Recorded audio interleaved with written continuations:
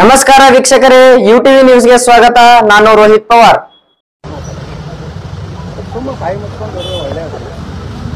High command ಎಲ್ಲನೂ ಗಮನಿಸ್ಲಕ್ಕತ್ತದ ನಾವು ನಮ್ಮ ಹೋರಾಟ ಬಿಟ್ಟು ಬಿಡುವುದಿಲ್ಲ. ನಾವು ರೈತರ ಸಲುವಾಗಿ, ಜನರ ಸಲುವಾಗಿ, ನಮ್ಮ ಮಠ ಮಂದಿರ ಸಲುವಾಗಿ ಹೋರಾಟ ಮಾಡ್ತೀವಿ. ನಾವೇನು ರಾಜ್ಯಾಧ್ಯಕ್ಷ ಆಗಬೇಕು ಮುಖ್ಯಮಂತ್ರಿ ಅಭ್ಯರ್ಥಿ ಆಗಬೇಕು ಹೋರಾಟ. ಮತ್ತು ಯಾವುದೇ ಕುಟುಂಬದಲ್ಲಿ ಇರುತ್ತೆ ಹೋರಾಟ ಈಗ ಯಾರೂ ಗಾಬರಿ ಆಗೋಂಥದ್ದು ಬೇಕಾಗಿಲ್ಲ ಎದು ಗಾಬರಿ ಆಗ್ತಿಲ್ಲ ನಾನು ನಿಮ್ಮ ಬಗ್ಗೆ ಮಾತಾಡಲ್ಲ ಈ ಸದಾನಂದ ಗೌಡಿಗೆ ಏನು ಕೆಲಸ ಸರಿ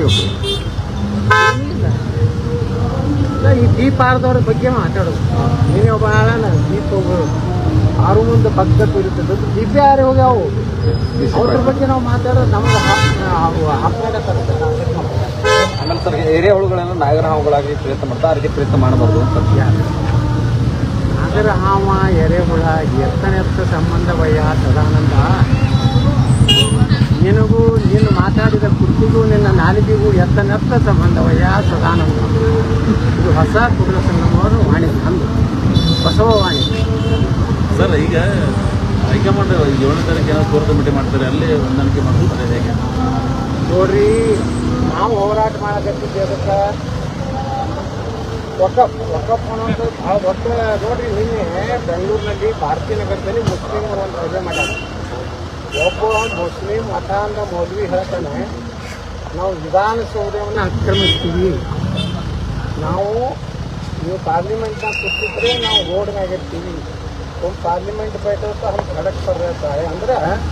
ಪಾರ್ಲಿಮೆಂಟ್ ಇರುವಂಥ ಜನಪ್ರತಿನಿಧಿಗಳನ್ನು ಧಮಕಿ ಮಾಡ್ತಾರೆ, ಅವ್ರು ಕೊಲೆ ಮಾಡ್ತೀನಿ ಅಂತ ಬೆದರಿಕೆ ಆಗ್ತಾ ಇದ್ದಾರೆ. ಇಂಥ ಗಂಭೀರ ವಿಷಯವನ್ನು ನಾವು ತಗೊಂಡಿದ್ದೀವಿ. ಇದಕ್ಕೆಲ್ಲರಿಗೂ ನಮ್ಮ ಬೆಂಬಲ ಇದೆ. ಸಾವಿರಾರು ಜನ ಬೀದರ್ನಲ್ಲಿ, ಕಲಬುರಗಿಯಲ್ಲಿ, ಬೀದರ್ನಲ್ಲಿ ಒಂದು ಕಟ್ನಾಳೆ ಊರಿಗೆ ಹೋಗಿದ್ದೀವಿ ಸುಮಾರು ಒಂದು ಹದಿನೈದು, ಇಪ್ಪತ್ತು ಕಾರ್ಯಕರ್ತರು ಕಳಿಸಿದ್ರಲ್ಲಿ ಒಬ್ಬರು ನಮ್ಮ ಧಿಕ್ಕಾರಕ್ಕೆ ಹೋಗ್ಲಿಕ್ಕೆ ಆ ಊರನ್ನ ಪ್ರವೇಶ ಮಾಡ್ತಾರೆ. ಅಲ್ಲಿ ಊರಿಗೆ ಜನ ಹೊರಗೆ ಬಂದು ಸುಮಾರು ಮುನ್ನೂರು ಕಿಲೋಮೀಟರ್ ದೂರದ ಎತ್ನಾಡ್ರ ಟೀಮ್ ನಮ್ಮ ಕಷ್ಟ ಸುಖ ಕೇಳಕ್ಕೆ ಬಂದದ.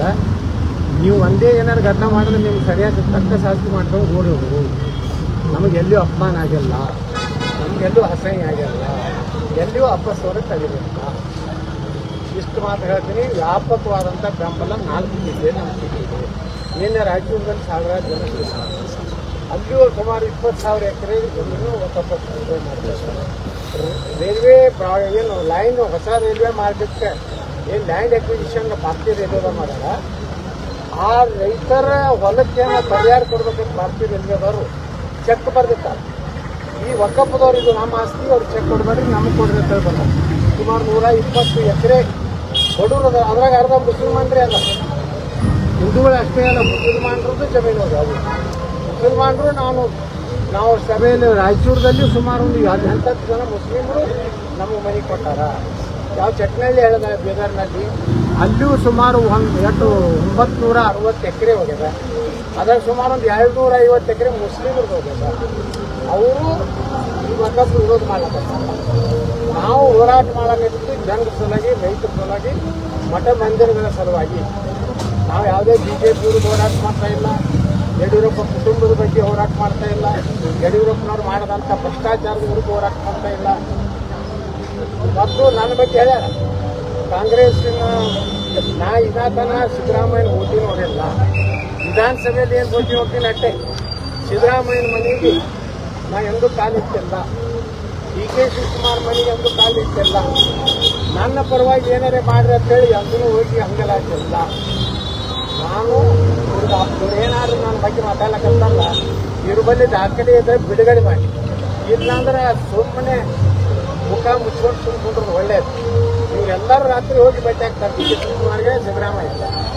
ಇವ್ರ ಹಗರಣಗಳು ಪ್ರಕರಣಗಳು ಬ್ಲ್ಯಾಕ್ ಮೇಲ್ ಮಾಡಕ್ಕೆ ನನಗೂ ಬ್ಲ್ಯಾಕ್ ಮೇಲ್ ಮಾಡಕ್ಕೆ ಬರ್ತಾರೆ. ಮೂವತ್ತೊಂಬತ್ತು ಕೇಸ್ ಹಾಕ್ಯಾರ ನಾನು ಎಲ್ಲ ಹೈಕೋರ್ಟ್ ನ್ಯಾಯಾಲಯದಲ್ಲಿ ನಾನು ನ್ಯಾಯ ಸಿಗಲಾಗ್ತದೆ ಅದಕ್ಕೆ ನಾನು ಹೇಳ್ತೀನಿ ನಾನು ಬಗ್ಗೆ ಏನಾದ್ರು ಮಾತಾಡಿದ್ರೆ ಅದೇ ಮಾತಾಡಿ.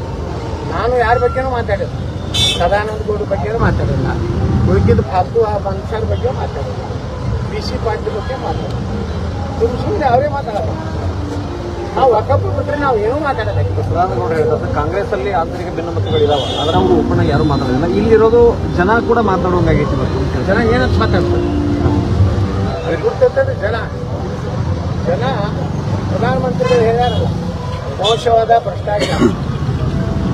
ನಮ್ಮ ಪಕ್ಷದಾಗ ನಡೀತಿಲ್ಲ ಅಂತಾರ ಅದನ್ನು ತಗೊಳ್ಳ ತಗೊಳ್ ತೊಗಲ್ ತೊಲಗಿಸ್ತಾರ ಎಲ್ಲಿ ಭಯ ಬಂದಿರ್ತಾರೆ ಪಾಪ ವಂಶವಾದ ನಾವು ಇರೋದೇ ವಂಶವಾದ ಒಪ್ಪುದಿಲ್ಲ ಅಪ್ಪನ ಮಗ ಅಪ್ಪನ ಜಾಗಕ್ಕೆ ಮಗನ ಕೊಡು. ನಾವು ಭಾಳ ದುಡ್ದೀವಿ ದುಡ್ದೀವಿ ಅಂದ್ರೆ ನೀವು ಆ ಕಡೆ ಅನುಭವಿಸಿದ್ವಿ. ನಾಲ್ಕು ಸಲ ಮುಖ್ಯಮಂತ್ರಿ ಆಗಿರಲಿಲ್ಲ. ಪಕ್ಷನೂ ನಿಮ್ಗೆ ಕೊಟ್ಟದ ನಿಮ್ಮ ಒಬ್ಬ ಮತ್ತೆ ಎಂ ಪಿ ಮಾಡ್ಯಾರ, ನಿಮ್ಮ ಒಬ್ಬ ರಾಜ್ಯಾಧ್ಯಕ್ಷ ಮಾಡಿ ಎಂ ಎಲ್ ಎ ಮಾಡ್ಯಾರ, ಪಕ್ಷ. ಇನ್ನಾನು ನಾವು ದುಡಿದೀವಿ ನಾವು ಸೈಕಲ್ ಮ್ಯಾಗ ನಾವು ಸೈಕಲ್ ಮ್ಯಾಗ. ನಾವು ನಾವು ಏನು ಮರ್ಸಿಡೀಸ್ ಗಾಡಿ ಗಾಡಿ ಸರ್ ಅವ್ರ ಬೇಡಿಕೆ ಏನು ಸರ್? ಈಗ ನೀವು ಒಂದು ಪ್ರವಾಸ ಮಾಡ್ತಾ ಇದ್ದಾರೆ ಬೇರೆ ಜಿಲ್ಲೆಗಳಲ್ಲಿ. ಅಲ್ಲಿ ಅಧಿಕೃತವಾಗಿ ಪಕ್ಷದಿಂದ ಯಾವ ರೀತಿ ಪ್ರವಾಸ ಮಾಡೋದು ಮುಜುಗರಾಗುತ್ತೆ ಅನ್ನೋದು ಅವ್ರದ್ದು ಬೇಡಿಕೆ. ಬಟ್ ಅವ್ರು ಯಾಕೆ ಹೋರಾಟ ಮಾಡಲಿಲ್ಲ? ಅವ್ರು ಮಾಡಿದ್ರೆ ಪ್ರಶ್ನೆ ಬರ್ತಿದ್ದಿಲ್ಲ. ನಮ್ಮ ಹೆಸರೇ ಹಾಕಿರ್ಲಿಲ್ಲಲ್ಲ ಒಂದು ನೀವು ಒಂದು ಸ್ಟಾರ್ ಕ್ಯಾಂಪಿನರ್ ನಾವು ನನಗೆ ಹಾಕಲಿಲ್ಲ ಉಪಚುನಾವಣೆ ಒಳಗೆ. ತುಂಬ ಬೊಮ್ಮಾಯಿ ಅವರು ನಮ್ದು ಒಳ್ಳೆ ಸಂಬಂಧ ಇತ್ತು. ನಾನು ಕರ್ತವ್ಯ ಮಾಡಿದ್ದೆ ಇವತ್ತು ಸಿದ್ದರಾಮಯ್ಯಲ್ಲಿ ನೂರು ಕೋಟಿ ರೂಪಾಯಿ ಮಾಡಿ ಖರ್ಚು ಮಾಡ್ಯಾರ. ಕಾಂಗ್ರೆಸ್ ನೂರು ಕೋಟಿಗಿಂತ ಹೆಚ್ಚು ಮಾಡಿ ಅಲ್ಲಿ ಹೇಳ್ತಾರೆ ಜನ ಲಿಂಗಾಯತರಿಗೆ ಐದು ಸಾವಿರ ರೂಪಾಯಿ ಹೋಗಿ, ಒಂದು ಹೋಗಿ ಕೊಟ್ಟವ್ರು ಕೊಡ್ತಾರೆ ಜನ ಹೇಳ್ಬೇಕು. ಕುರುಬರು ಮತ್ತು ನಮ್ಮ ವಾಲ್ಮೀಕಿ ಜನಾಂಗ ಮೂರು ಸಾವಿರ ಕೊಡ್ತಾರೆ ಮುಸಲ್ಮಾನರು ಅವರೇ ಜಾತಿ ಅವನಿಗೆ ಅನ್ನಕ್ಕೆ ಅವನಿಗೆ ಯಾಕೆ ಸಾವಿರ ಕೊಡ್ತಾರೆ ಜಾತಿ. ಹಿಂಗೆ ಓಟ್ ಹಂಚಿ, ರೊಕ್ಕ ಹಂಚೋರು ಆಚೆ ಬಂದಿರ್ಬೋದು. ಆ ಬರೀ ಚಿಕ್ಕಮಗಳೂರೇ ಉದಾಹರಣೆ. ಆದ್ರೆ ಬೊಮ್ಮಾಯಿಯವ್ರು ಮಾಡಿದ ಕೆಲಸ ನಾನು ಸ್ವತಃ ಮೂರು ದಿವಸ ನೋಡೀನಿ. ಬಹುಶಃ ದುರ್ದೈವ ಬೊಮ್ಮಾಯಿ ಅವ್ರನ್ನ ಸೋಲಿಸಬಾರ್ದು ಜನ. ಎಲ್ಲ ಹೊಲಗಳಿಗೆ ಕೆರೆ ತುಂಬ್ಯಾರ. ಎಲ್ಲ ಊರಿಗೆ ರೋಡ್ ಮಾಡ್ಯಾರ. ಸುಮಾರು ಹದಿಮೂರು ಸಾವಿರ ಮನೆ ಮಾಡ್ಯಾರ. ದುರ್ದೈವ ಜನ, ಮತದಾರರು ಒಮ್ಮೊಮ್ಮೆ ಏನೇನೋ ತಪ್ಪು ತಗೋತಾರೆ. ಆದ್ರೆ ಈ ಮೂರು ಉಪಚುನಾವಣೆ ನಾವು ಗೆದ್ದೀವಿ ಅಂತ ಹೇಳಿ ಮುಂದಿನ ಕಾಂಗ್ರೆಸ್ ಬರ್ತೈತೆ ಅನ್ನೋಂಥ ಮೂರು ಕಡೆ ಯಾರು ಅಲ್ಲ ಹೆಂಗೆ ಮಹಾರಾಷ್ಟ್ರದ ಕಿತ್ಕೊಂಡು ಹೋಗೈತಲ್ಲ, ಈಗೆಲ್ಲ ಪಾರ್ಟಿಗಳು ಕೂಡಿ ಕರ್ನಾಟಕದಾಗೂ ಹೀನಾಯವಾಗಿ ಮುಂದಿನ ವಿಧಾನಸಭೆಗಳು ಕಾಂಗ್ರೆಸ್ ಬಿಜೆಪಿ ಪ್ರಧಾನ ಕಾರ್ಯದರ್ಶಿಗಳು ಬರ್ತಾ ಇದ್ದಾರೆ ಸರ್. ಅಲ್ಲಿ ಏನೋ ತಮ್ಮ ವಿರುದ್ಧ ದೂರು ಕೊಡ್ತಾರೆ. ಕೋರ್ ಕಮಿಟಿ ಎಲ್ಲ ಸೇರಿ. ನಾ ಹೇಳಿ ಸ್ವಾಗತ ಮಾಡೀನಿ ನಿನ್ನೆ. ದೂರು ಕೊಡಲಿ. ಭ್ರಷ್ಟಾಚಾರದ ಆರೋಪ ನನ್ನ ಮೇಲೆ ಇದ್ದು ಅದ್ರ ದೂರು ಕೊಡಲಿ. ಸಿದ್ದರಾಮಯ್ಯ ಮತ್ತು ಡಿ ಕೆ ಶಿವಕುಮಾರ್ ರಾತ್ರಿ ಮನೆಗೆ ಹೋಗಿ ಕೈ ಕಾಲು ಹಿಡಿದು ಏನೋ ಕೆಲಸ ಮಾಡಿದ್ರು ಅದು ದೂರು ಕೊಡಿ ಅವ್ರಿಗೆ ನಿಜವಾಗಿ ಅವ್ರ ಬಳಿ ನೈತಿಕತೆ ಇದ್ರ? ಯಾವಾಗ ನಾವು ಹೋರಾಟ ಮಾಡಕತ್ತೀವಿ? ವಿಧಾನಸಭೆದಾಗ ಒಬ್ಬ ರಾಜ್ಯಾಧ್ಯಕ್ಷ ಹೋಗಿ ಡಿ ಕೆ ಶಿವಕುಮಾರ್ ಕಡೆ ಇಪ್ಪತ್ತು ಪತ್ರ ಸಹಿ ಮಾಡ್ಕೊಳ್ತಾರೆ. ನಮ್ಮ ಮುಂದೆ. ನಮ್ಮಲ್ಲಿ ವಿಡಿಯೋ ಇದೆ.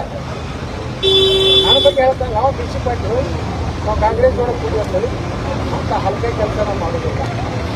ಪಕ್ಷಕ್ಕೆ ದ್ರೋಹ ಮಾಡುವುದಿಲ್ಲ ಯಡಿಯೂರಪ್ಪನವ್ರ ಭಾಷೆಯವರು ತಾಯಿಗೆ ನಾವು ದ್ರೋಹ ಮಾಡೋರಲ್ಲ. ಅಂತ ಪ್ರಧಾನ ಕಾರ್ಯದರ್ಶಿ ಬಂದಾಗ ಈ ವಿಚಾರಣೆ ಬಿಟ್ಟಿರ್ತೀವಿ ನೋಡ್ರಿ ನೀವು ಒಂದು ಮಾತು ಅಲ್ಲಿಗೆ ಅವರು ಬರ್ಲಿ. ಭಾಳ ಒಳ್ಳೇದಾಯ್ತು. ನನಗೂ ನಿನ್ನೆ ದಿಲ್ಲಿದಿಂದ ಫೋನ್ ಬಂದದ. ತಕ್ಷಣ ಇವತ್ತು ಹೊರಟು ಬರ್ಬಿಟ್ರಿ ನಾನೇ ಬರ್ಬೋದ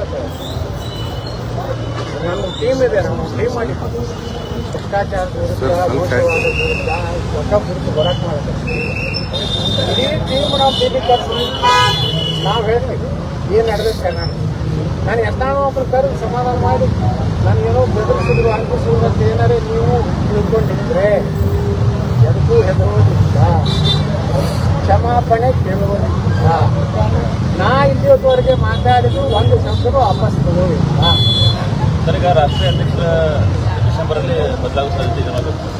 ಅದು ರಾಜ್ಯದಲ್ಲಿ ಏನು ಇಂಪ್ಲಿಮೆಂಟ್ ಆಗುತ್ತೆ ಬೇರೆ ಬೇರೆ? ರಾಷ್ಟ್ರೀಯ ಅಧ್ಯಕ್ಷ ಬದಲಾವಣೆ ಆಗ್ತಾರೆ ಅಂದ್ರೆ ಅವರ ಜೊತೆ ಆ ಕಂಡೆಲ್ಲ ಹೋಗು ಒಬ್ಬ ಒಳ್ಳೆಯ ರಾಷ್ಟ್ರೀಯ ಪ್ರಾಮಾಣಿಕ ಯಾವುದೇ ಒಂದು ವ್ಯಕ್ತಿಗೆ ಬಲಿಯಾಗದೇ ಇರುವಂಥ ರಾಷ್ಟ್ರೀಯ ಅಧ್ಯಕ್ಷರಾಗಿರೋದು ನಾವು ಕೇಂದ್ರ ಪ್ರಧಾನಮಂತ್ರಿಗಳ ಇಷ್ಟ ಹೇಳ್ತೀನಿ ಈ ವಂಶವಾದ ಭ್ರಷ್ಟಾಚಾರದ ರಾಜಕಾರಣಿಗಳನ್ನು ಯಾವುದೇ ರಾಜ್ಯದಲ್ಲಿ ಕಿತ್ತು ಕಿತ್ತೊಗಿಬೇಕು ಅಂದಾಗೆ ಪ್ರಧಾನಮಂತ್ರಿಗಳ ಮಾತಿಗೆ ಗೌರವ ಬರ್ತದೆ. ರಾಜ್ಯದ ಬದಲಾವಣೆ ಆಗುತ್ತೆ ಅವರು ಕ್ಷೇತ್ರದಲ್ಲಿ ಬಿಜೆಪಿ. ಅವ್ರು ಆತ್ಮಹತ್ಯೆ ಬಿಟ್ಟಿದ್ರಿ ನಮ್ಗೇನು ಮಾಡೋದು? ಅವರಿಗೆ ಯಾರಿಗೆ ಬೌದ್ಧಾದಂತ ರಾಜಕಾರಣ ಮಾಡ್ಬೇಕು ನಾ ಯಾಕೆ ಹೇಳಕ್ ಹೋಗಿ ರಾಜ್ಯನ ಕೊಡ ನಾ ಹೇಳಲ್ಲ ರಾಜ್ಯನ ಕೊಡ ಅವ್ರು ತಿಳ್ಕೊಂಡು ನಿರ್ಣಯ ಮಾಡಬೇಕು ಅಲ್ಲ ಸರ್, ಈಗ ಆಲ್ಟರ್ನೇಟಿವ್ ದಾರಿ ದಾರಿ ಪಕ್ಷ ಎಲ್ಲರೂ ಕೂಡ ಅಭಿಪ್ರಾಯ ಯಾರನ್ನೋ ಮತ್ತೊಂದು ನಮ್ಮ ತೆಲಿ ಮ್ಯಾಗ ಹಾಕಿದ್ರೆ ಎಲ್ಲರೂ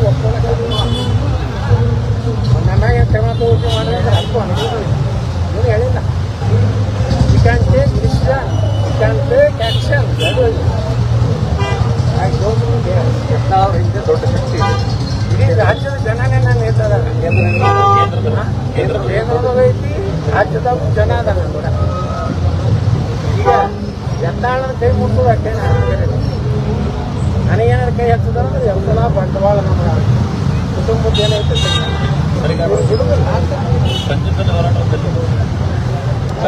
ಹೋರಾಟ ಆಗುದೆ ಹತ್ತನೇ ತಾರೀಕಿಗೆ ನಾವು ಹೋರಾಟ ಮಾಡವ್ರೆ. ಯಾರು ಬರ್ತೀವಿ ಯಾರು ಬಿಡ್ಸಿ ಬರೀ ಪಂಚಮಸಾಲಿಗಳಲ್ಲ ಯಾರಿಗೂ ಅದ್ರಾಗ ಪಂಚಮಸಾಲಿ ಅದೆಲ್ಲ ಆಗುವುದು ಜಂಗಮ ಎಲ್ಲ ಮರಾಠ ಜೈನ ಕ್ರಿಶ್ಚಿಯನ್ ಎಲ್ಲರೂ ಹೋರಾಟ ಮಾಡ್ತೀವಿ ಕೇಂದ್ರದ ಸರ್ಕಾರದಲ್ಲಿ ಲಿಂಗಾಯತನ್ನು ಓಬಿಸಿ ಸೇರಿಸಬೇಕಂತ ಇವರಿಗೆ ಲಕ್ಷ್ಮೀ ಹೆಬ್ಬಾಳ್ಕರ್ ಅವರು. ಈಗ ಲಕ್ಷ್ಮಿ ಅಕ್ಕ ಮೊದಲ ಎಷ್ಟು ಜಿಗಿದಾರ ಹೋಗ್ಲಿ ಜೀವ ಹೋಗ್ಲಿ ನನ್ನ ಸಮುದಾಯ ಸಲುವಾಗಿ ಉತ್ತರ ಹೋರಾಟ ಮಾಡ್ತೀನಿ. ಯಾರು ಸುತ್ತುತ್ತಿ ಯಾವ ಯಾವ ಲಕ್ಷವ ರಾಜೀನಾಮೆ ಕೊಟ್ಟು ನಾ ಹೆಂಗ ಅವ ಈಗ ಕಾಂಗ್ರೆಸ್ನವ್ರು ಅಯೋಗ್ಯರದ ಒಬ್ಬರು ತೆಗಿಲಕತ್ತಾನ ಬಾಯಿ ಬಿಟ್ಟತ್ತಾನ ನಾಳೆ ಅವ್ರು ಬಣ್ಣ ಬಯಲು ಮಾಡ್ತೀನಿ, ನಾನು ಬೆಳಗಾವಿ ಚಂದಲ್ಲಿ ನಾನು ಹೋರಾಟ ಪ್ರಾರಂಭ ಮಾಡ್ತೀನಿ. ಒಬ್ಬ ವಿರುದ್ಧ ಅಲ್ಲಿ ನಾನು ಮಾತಾಡ್ತೀನಿ. ಈ ಸಮುದಾಯಗಳಿಗೆ ಮೀಸಲಾತಿ ಬಗ್ಗೆ ಮಾತಾಡ್ತೀನಿ. ಇವೇನೇನು ಅದಲ್ಲ ಕಾಂಗ್ರೆಸ್ಸಿನ ಸರ್ಕಾರದ ಹಗರಣಗಳೆಲ್ಲ?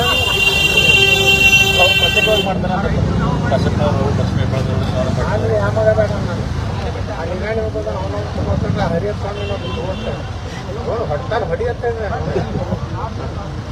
ಯಾ ಮಗ ಬೇಡ ಅಂತ ನೋಡಿ ಅಲ್ಲಿ ಹರಿಯತ್ ಸ್ವಾಮಿ ಖಾಲಿ ಕೂತಾನ ಅವ್ನು ತೊಗೊಂತಾನೆ लेटेस्ट न्यूज अपडेट्स के लिए YouTube एक्सप्रेस को सब्सक्राइब कीजिए साथ में बेल आइकॉन को भी क्लिक कीजिए साथ ही साथ लाइक शेयर और कमेंट करना ना भूलिए